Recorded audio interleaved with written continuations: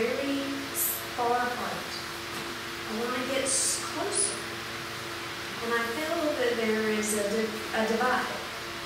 Do you feel that way sometimes? Sometimes you feel really close to Him, and sometimes you feel distance.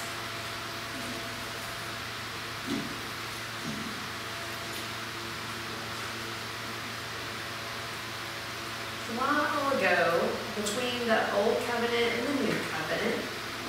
how many years was in between where they heard nothing from God? There was no prophets, no messages from God. It was between the Old Covenant and the New Covenant. Yes, 400 years. Israel heard nothing. And then John the Baptist appeared and started preaching. And he was a prophet. Before there, before him, it was 400 years of silence. You know, so in the United States, you know, maybe in the last 200 years, you know, independence we declared from England. You know, we declared ourselves a nation, right? It's been just under 200, 300 years. So think about how 400 years Israel had not heard from God. How they would have felt. Could you imagine that? And though today we start to find ourselves feeling distant from God. So in John chapter 1, verse 45, and I'm going to assign Philip. Philip found Nathanael. And I'm going to assign Nathanael this way.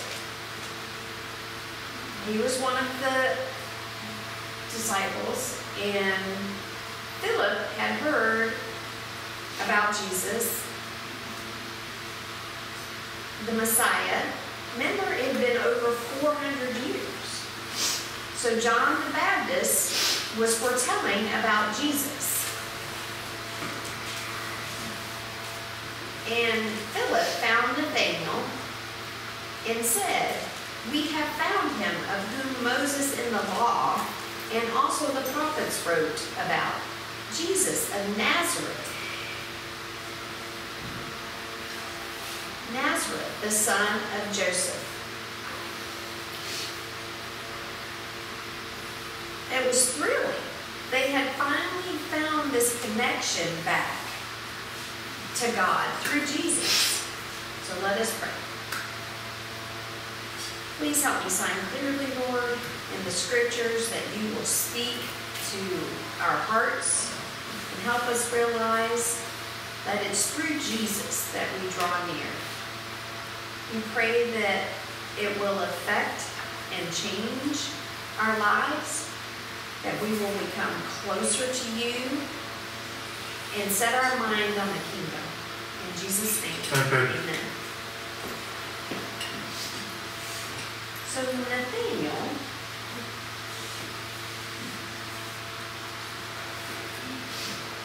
what was his response to Philip? It was kind of negative. Verse 46, the first part, says that Nathanael said to him, Can anything good come out of Nazareth? So why did Nathanael say that? Because Nazareth, the people, you know, really didn't think highly of Nazareth. You know, there wasn't anything real evident of anything good from Nazareth. So I was curious. You know, I was looking on the internet. What is the worst place to live in America? And it was very interesting. I found this town of Mendota. It's on the map. It's in California. It's a small town. Maybe a little bit over 11,000 people live there. A population of 11,000. But it says almost half of the people that live there, of the 11,000, live in poverty. They're very poor. And only 1.8% have a college degree. That's very few who are able to go to college. It appears they don't have access to a good education. And over half of the households earn less than $27,500 a year. And those three things, this is 2023. This is not something old about this town. Has anybody famous come out of this town? You know, that's the same idea about the town of Nazareth. Jesus grew up in the town of Nazareth. There was not really a town known for a lot. So if you, you know, telling the gospel of Jesus Christ, people would say Jesus was born. Okay, but there's like nothing really such a big deal about that. You would say, no, come meet Jesus. I want to tell you more about Jesus. In the back of their mind, they have a prejudice. You know? And this is what Philip was trying to tell to Nathanael. Philip said to him, Come and see. So they both left to see Jesus, and Nathanael changed his perspective of Jesus in the next scripture. Jesus saw Nathanael coming and said to him, Behold, an Israelite indeed in whom there is no deceit. And it's true that Nathanael was a very honest person. People knew Nathanael. But how did Jesus know him? And Nathanael said to him, How do you know me? And Jesus answered, Before Philip called you, when you were under the fig tree, I saw you. And Jesus had not been with Philip. You know, it was supernatural that Jesus could have already seen Nathanael. He already knew what had. He knew that Nathanael had been sitting under a fig tree. And that's what hit Nathanael and knew that he was God. Nathanael answered, Rabbi. The word rabbi means an honored teacher. You are the Son of God. You are the King of Israel. That's how Nathanael noticed. You know, before Nathanael said, anything good comes out of Nazareth, and he was taken back and he was changed because he recognized who Jesus was. So, like us, we must receive salvation, believe in Jesus, and you know who Jesus is. He's always with. Does he leave you? No, he never leaves you. But you must believe who he is first, that he is the Son of God, died on the cross for our sins. That's the gospel. It's just like Nathanael. He noticed the gospel. So Jesus answered him, Because I said to you, I saw you under the fig tree, do you believe? You will see greater things than these. Jesus was letting Nathanael know, yes, you realize who I am. And there will be greater things to see. I will show them.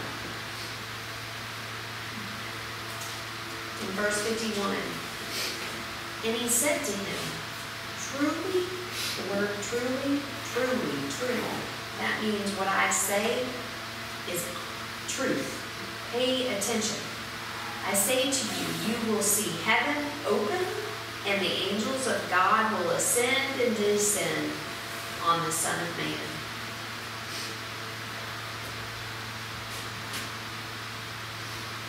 Angels ascending and descending? It's like a ladder or stairwell. Jesus said that on the Son of Man, and that was referring to himself, that there was finally a connection to heaven. Remember, for 400 years, there was no communication, no feeling of connection. God was trying to tell them that they would see. You know, we're used to hearing about the gospel, right? We've heard it over and over again. Some of us have been Christians for many years. You know, our relationship is through Jesus with God. Yes, we know that. But do we really know that? Do we know how amazing that is because of our sin that separates us from God? He is so holy. There's no way for us to draw near.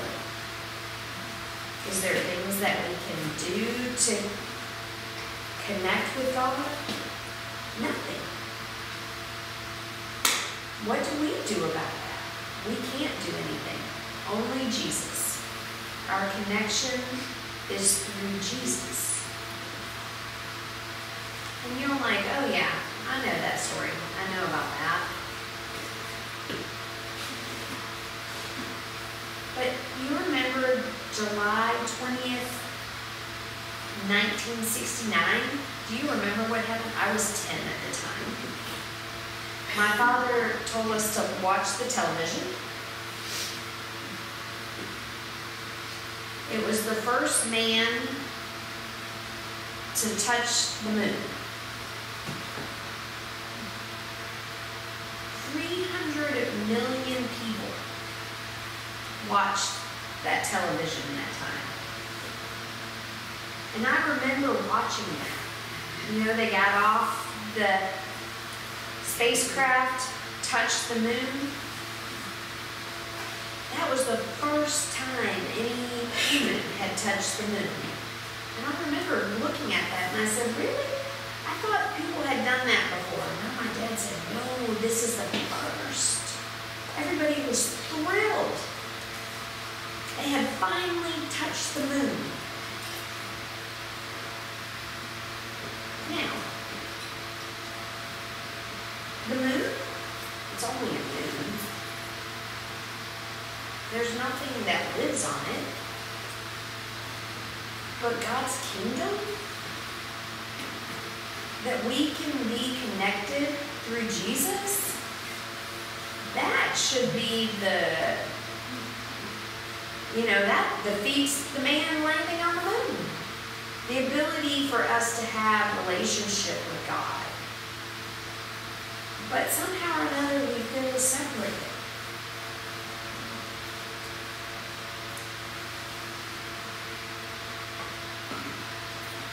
We have too many connections.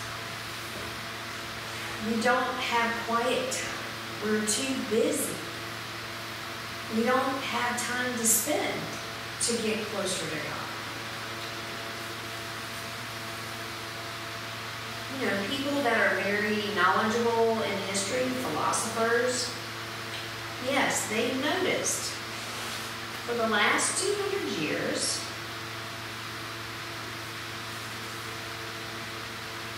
there is a de decreasing connection to God. And why is that?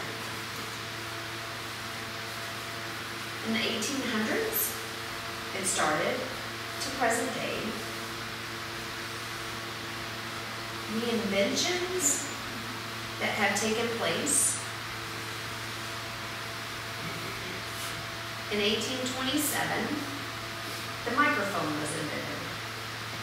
And that's wonderful. Because if you had big crowds, people would have a hard time hearing. But the microphone helped everyone hear, and so it made it easier.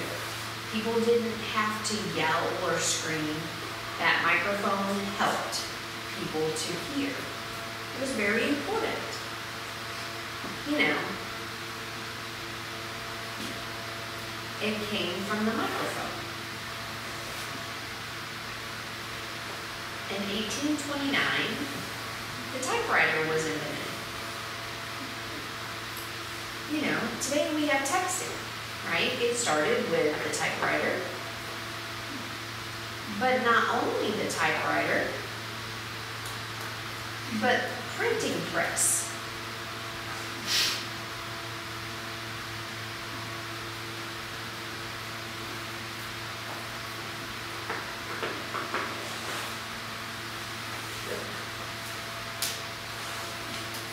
And then things got to be able to done faster and printed faster.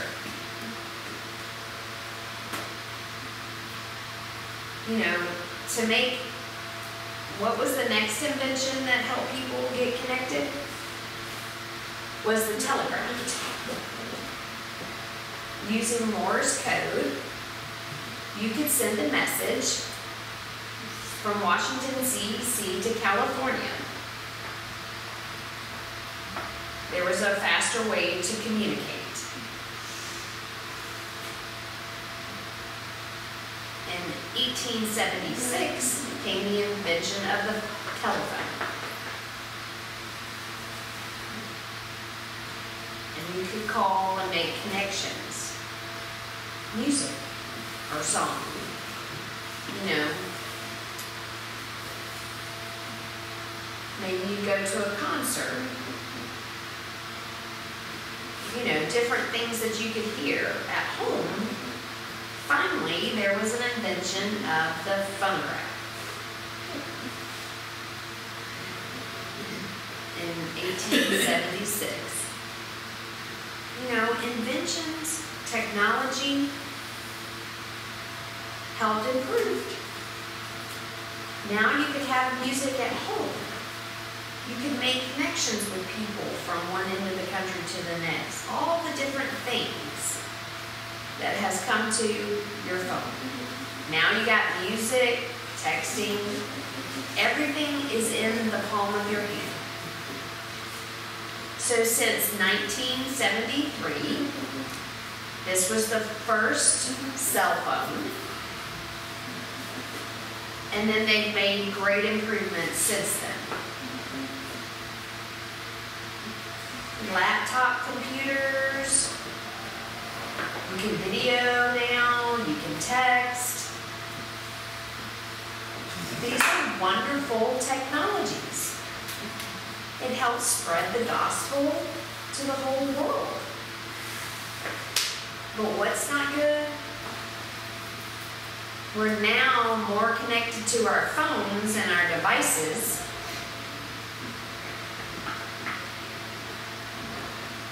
you know, just different things that people can do with each other now. You're making connections. But that also is a separation because now technology is taking place of getting with people. We're more locked into the screen than to each other people will sit down at a meal and not talk, but they're focused on their device. They've lost the connection. They're connected, but not connected. Connect technology busies our mind, and we have less time for God. So how much time do we spend in prayer and devotion? 30 minutes? an hour every day. And then on our phones, though, how much are we connected to our phones? Wow, we're probably hour after hour after hour. But we feel this separation from God.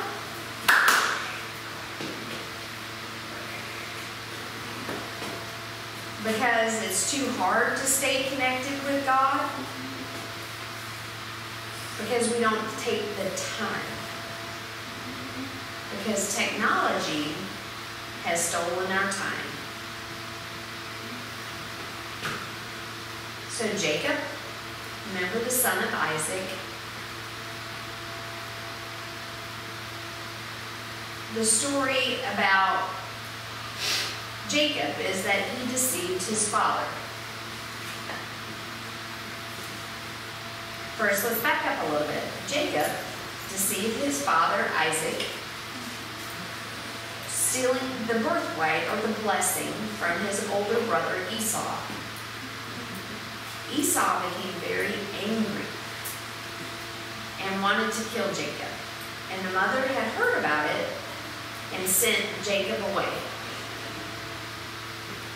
The father, Isaac, sent him away. He found him a wife from a relative, Jacob did, but he traveled alone he was afraid of Esau, and he wandered alone. So when he fell asleep,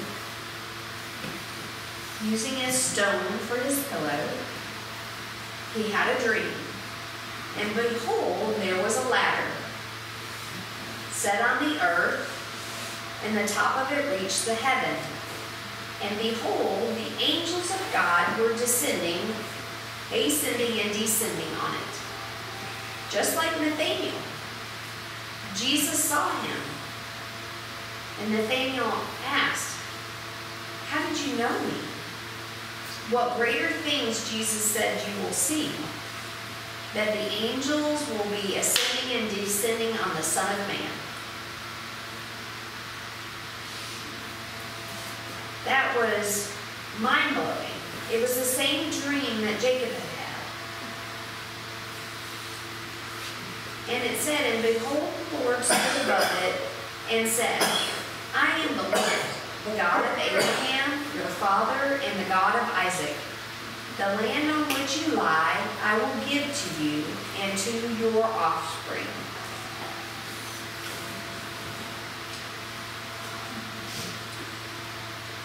Um, the next couple of verses list a bunch of names.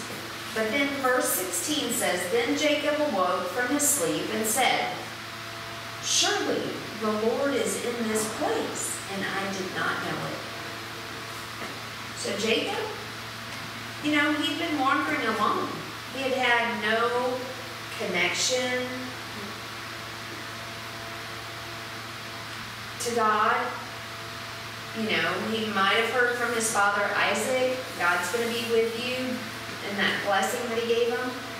But he had not experienced God's closeness until this dream. And he was thrilled. He trembled. Verse 17. And he was afraid not being afraid as in scared that God is going to do something horrible. No, he trembled out of reverence. He said, How awesome is this place? This is none other than the house of God. And this is the gate of heaven. So Jacob's life was changed from that point on you know, he grew up like a preacher's kid. You know, in a Christian home, you know, yeah, whatever, just kind of used to it, knowing biblical things. No but you know, having not his own experience with God, but this experience changed Jacob. So Jacob wanted to do something in honor of this. So early in the morning, Jacob took the stone that he had put under his head and set it up for a pillar and poured out on top of it oil. He wanted to remember this place.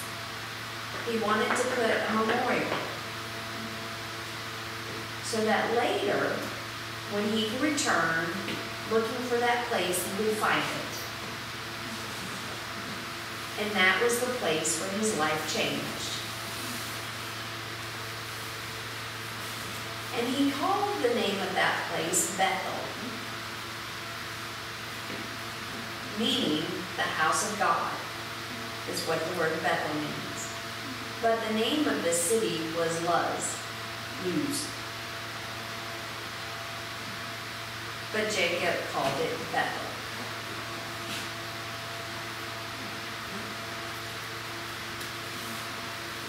You know, when you first realized the gospel had an understanding that your life changed, maybe you remember that.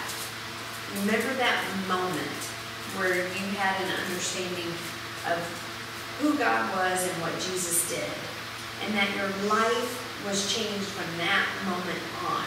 You remember that moment. Do you? It was an important moment. Yes, this is the moment I had an understanding of who Jesus was. It happened to me in this one place, kind of like Jacob, you know, where Jacob saw the ladders where the angels were ascending and descending. That was the place for Jacob, and I had this place. I'm going to sign it Bill Rice Ranch. How many of you have heard of this place before? That is a camp many years ago that Dev Munster, Missouri. Oh, sorry, Tennessee. And I went there for the first time in the year 1972. And that's where I felt that that was heaven. And I've heard it again over and over that some deaf people, when they go there, they don't like it. They dislike it. Why? Because it's really kind of strict. You know, girls have to wear dresses, they can't wear pants. Boys can't wear shorts. They have to wear pants, long pants. When they go to the pool, you have to cover yourself when you walk. And then when you get to the pool, you can take it out. Only the boys finish, and then they swim first, then the girls come and swim. They're not swimming together. I know it's strict, but I didn't care. Why? Because that's where I was hit with the understanding of the gospel, and my life was changed there. I was 13 at the time. I felt like this was heaven. I received salvation, and the first time I had prayed was during lunchtime in the cafeteria, and I really was talking to God felt that connection. Oh, I was so excited. I thanked him for the food. And then I went to tell people, I've been saved. I've been saved. I was so excited and my life was changed in that moment. And my perspective of the world, the weather, the trees, nature was so different. It seemed so much more vibrant. And I, when I walked or hiked, I feel like I could hold on to it. I remember that. So when I arrived home, I told my parents, I'm saved, I'm a Christian now. my parents were like, oh, okay. But I was thinking, that's such good news. Jesus, I have a connection to God. Do you have a connection? I remember sharing that with my brothers, my brother and sister. I was so inspired and so excited. And my relationship grew. But I would feel moments of where I was not close to God. I wanted to go back to this Bill Rice ranch. And I did in 1973 because I thought that was heaven. But when I got there, it wasn't. Didn't feel like it did before. Did it feel like heaven? No, it's just an everyday place. And I was like trying to figure out why. I was depending on a place. I needed to learn that I needed to depend on Jesus. I got close to God through Jesus. You know, the year before in 72, I felt like it was heaven. But it was because I knew who Jesus was. I was a baby Christian. I was still learning.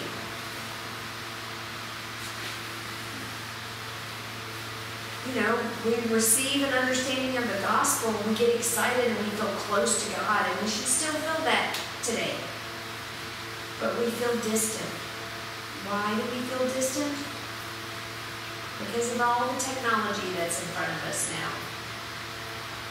We make connections easier through the technology, but we don't take the time to have time with God. It is through Jesus that we get close to God. Take time, set away time to read Scripture. God is close, He is near to you. And so that you know that Jesus is there. You must believe it.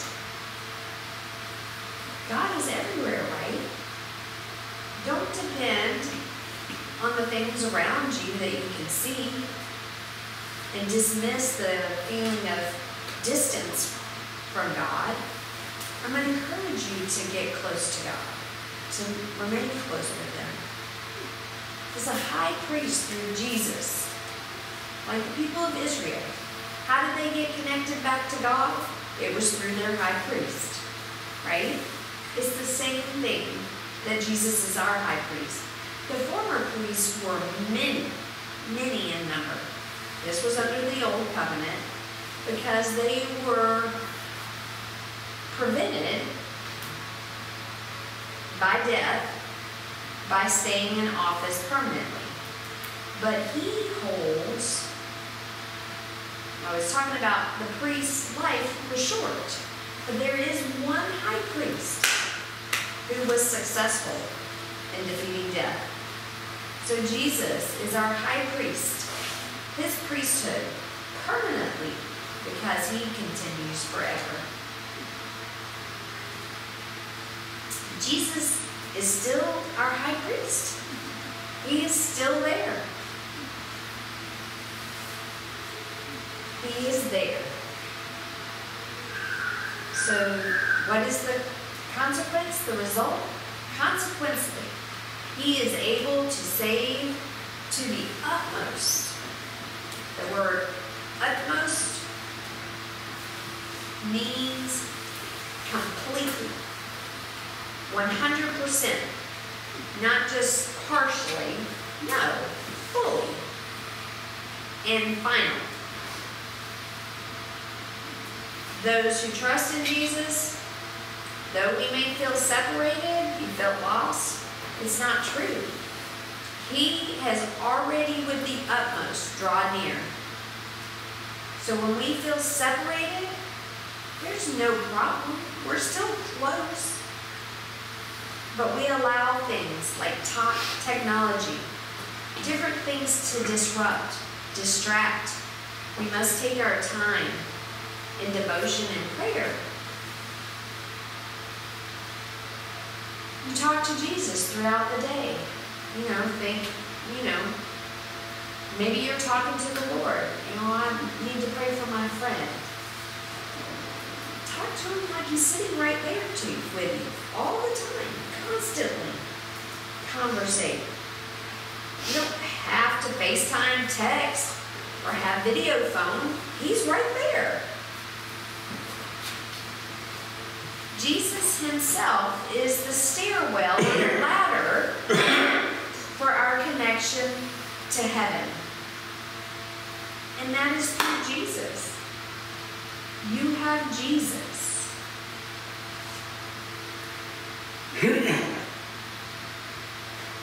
Is he disconnected? Do we have to fix it? No. He's there all the time. We don't need technology to get connected to Jesus.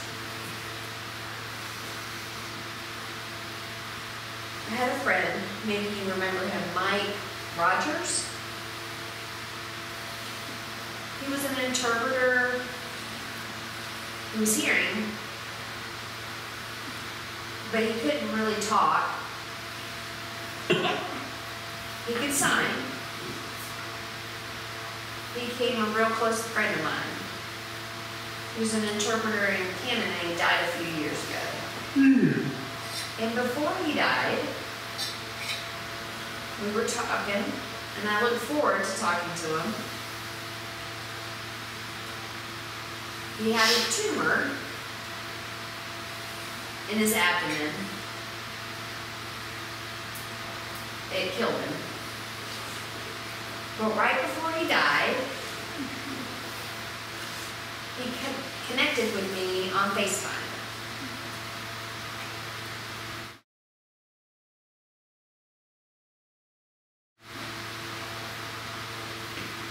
This is Mike, and we talked.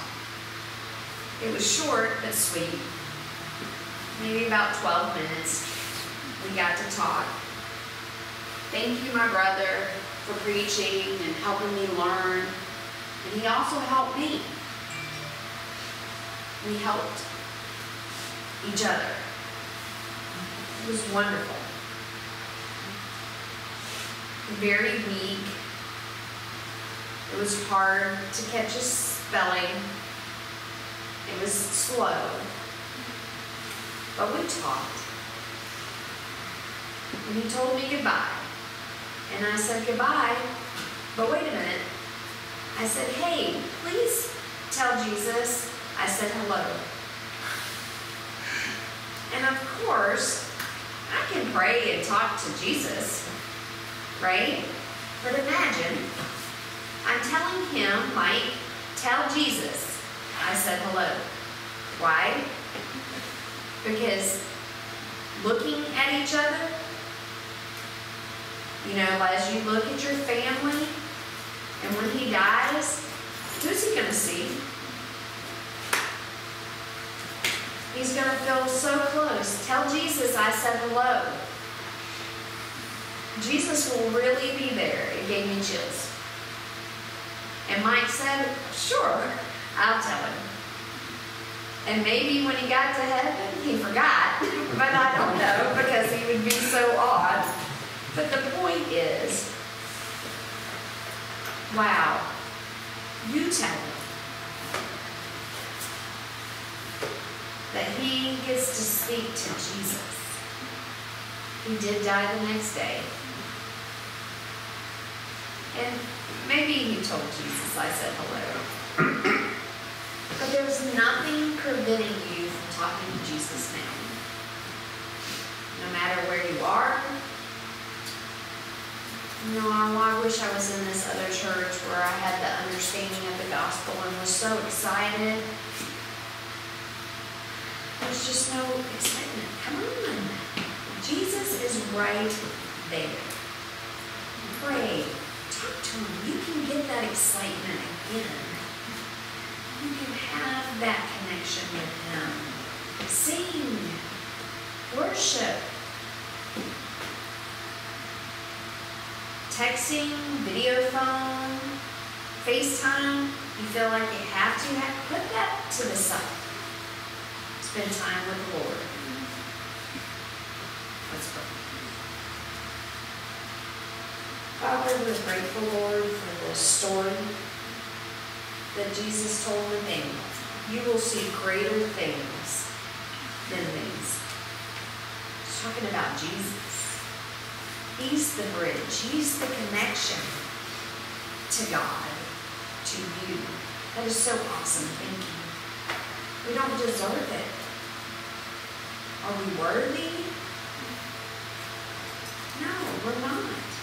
But you loved us, and your love makes us worthy. And Father, we are so grateful for your forgiveness.